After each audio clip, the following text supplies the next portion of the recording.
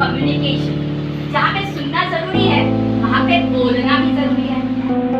वहाँ पे एक दूसरे को समझना भी ज़रूरी है जो हम बच्चों को समझा अब सिंपल टेक्निक आपको क्या करना है? शी से वन यस टीचर का देखो हम लोग वो वन बोल रहे हैं मैं बोल रही हूँ? One two three one two three one two three okay okay मैंने